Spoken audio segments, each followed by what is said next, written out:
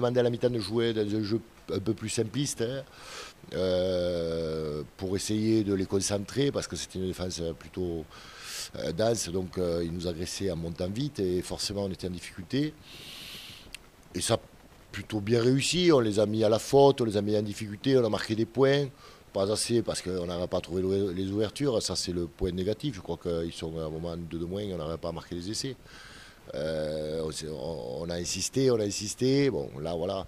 Euh, c'est là où on marque trop tard. On marque trop tard. Je pense que s'il était resté euh, encore 10 minutes, on aurait l'opportunité peut-être d'avoir la volonté de vouloir revenir et aller chercher quelque chose. On n'aurait pas joué de la même manière à la fin de match.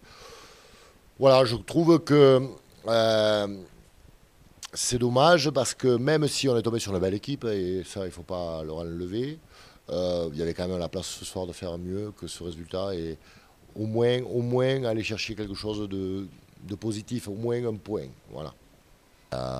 que deux journées de jouer, on ne va pas tirer sur l'ambulance. Je crois que ce soir, c'est, c'est négatif dans le sens où je crois qu'on méritait au moins le point de bonus.